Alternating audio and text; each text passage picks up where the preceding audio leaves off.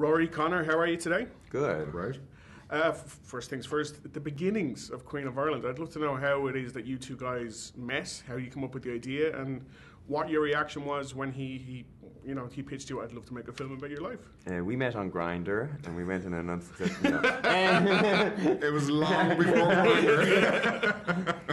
um, we'd been working together on a few, on mostly on the Alternative Miss Ireland posters every year. He would take the pictures, I'd be in them. So he'd photographed me lots of times over 20 years. So I knew Conor for a long time, and then he asked me about making a documentary, and I thought, well, Here I we know him, I trust him. Okay. So, Conor, you were filming this from 2010 ish. Yeah, Um, and prior to, you know, uh, the Noble Call and the, the referendum, uh, what was the, did you have any idea of where the film might be going from, from the start? We, ha- we had a, a loose idea. We always knew that we would have Panti as a great and highly entertaining character, but also Rory, who's very engaged politically. So we knew that whatever kind of political things that would happen, whatever parts of the fight for equality that would happen down the road, that Rory would be kind of in the centre of that, and that that's something that we wanted to capture. And when it came to the, the Noble Call, like you, you, you made the speech at the at the front of um, the Risen People. Was there a particular reason why you chose that night or that play or that theatre to, to, to give that speech?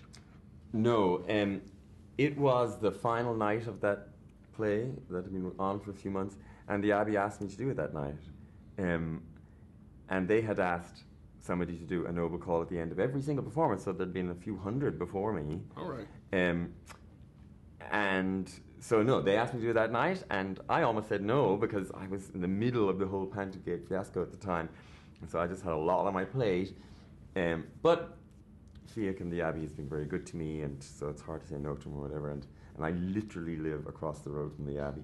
So, um, so I thought, okay, well, I'll do it. But I had no expectations of it. I had no, you know, anticipation of. I, I just thought I was going to saying a few words and getting out of there. You know, I, Yeah, yeah. I no, thought nothing of it. And then Conor decided to come along and film it. Um, and everything that happened after that came as, as big a surprise to me as anybody else. in during the Queen of Ireland, you see these massive moments where you, you see there are also like almost like cultural moments in, in what will be Irish history.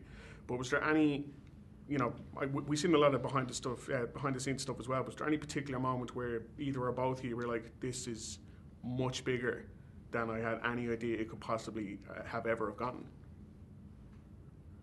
I think so many things happened on May the 23rd on the results day. It was just moment after moment after moment. I particularly remember, for some reason, coming around the corner on the way back from Dublin Castle and just the roar when the crowd outside Panti Bar saw Panti. and you just kind of, wow, that's huge. Um, no, well, I didn't because I think I was just in it. You know, I was running around, and I was a little used to having Conor just running around.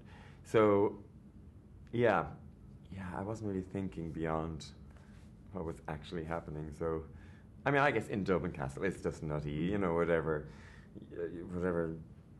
You know, the Taoiseach and Gerry Adams and whoever, you know, and I'm you you dressed as a giant cartoon. Like it's just it's it's it's funny. What, what other country in the world yeah. would that have happened in? So, I think I guess I was a little aware of that. yeah. Um, just for, for, for, for Panti and for Rory, like this is a film about about Panti Bliss, but I'm really curious Panti Bliss's opinion on film because obviously you're so involved in it. So just a, a couple of like quick fire ones. Uh huh. And Conor, you're, you're free to jump in with an opinion of your own as well. Favorite comedy? Oh my God. Um, that's hard. Airplane. Good. Some Good. like it hot. nice. Favorite horror? Uh, favorite horror. Whatever happened to Baby Jane? Okay. I don't like horror movies. Film most likely to make you cry? Oh God. Queen of Ireland. The Queen of Ireland. In a good way. Absolutely, like absolutely. And just if, if, if Hollywood ever, ever get their hands on this, who would you like to play you? Um, that's a hard one. Um, my my my go-to answer would have been any of the original Charlie's Angels, mm-hmm. um, but they're not Absolutely. all with us anymore. Still anymore. Um, so None, I'm of the, going none to of the new to. Charlie's Angels. huh? None of the new Charlie's Angels. Yeah. No. No. No. No. No. Um, so I'm going to have to go with with somebody elder. Imelda Staunton. Sure. I would have said Jonathan Rhys Myers. I'd say he would knock it out. I'd say he'd be Out of the good. park, Yeah. yeah. And final one, what's what's next for you both? Like I know this is like huge and monumental. It's still very much part of your life. But what is next on the horizon for Rory and Conor? Um, we're gonna have give that Grindr date another go. No, um, We um, both matured. We've a lot has happened. well, um, he's um, making a romantic comedy. And he's doing his theatre show. Well, well, congratulations to you both. Thank you so much. Thanks.